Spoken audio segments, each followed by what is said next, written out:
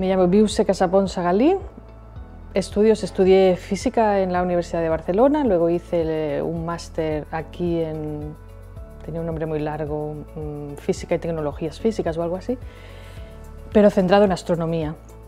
Y luego eh, hice el doctorado eh, aquí en la Universidad de Cantabria en Cosmología. Ahora mismo trabajo para el CSIC, para el Consejo Superior de Investigaciones Científicas, eh, pero soy socia de, de Deus Data Solutions, que la empezamos hace tres años. Eh, en el CSIC, bueno, de hecho trabajo en el Instituto de Física de Cantabria, que es un centro mixto de la universidad y del CSIC, yo estoy contratada por el CSIC,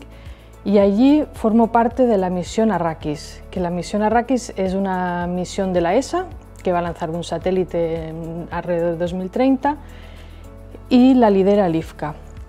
entonces ah, se hacen muchas cosas en esta misión.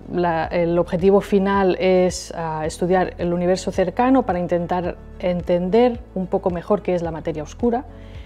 Y yo estoy en la oficina de proyecto, porque en una misión espacial pues hay muchas cosas que coordinar y se necesita, bueno, yo estoy coordinando esta oficina de proyecto que se encarga de la, comunicación externa, de, preparar las, pues las bases de datos, eh, las herramientas que necesitan los científicos y eh, era un plus, eh, hacer cosas de gestión, pero eh, era necesario alguien que supiera de ciencia.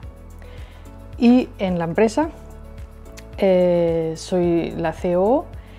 y la empresa se dedica a, ofrecer servicios de inteligencia artificial a otras empresas y me dedico también a coordinar y a llevar algunos de los proyectos. Física, eh, decidí estudiarla,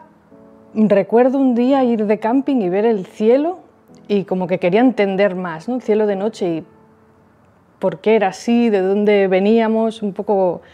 preguntas así existenciales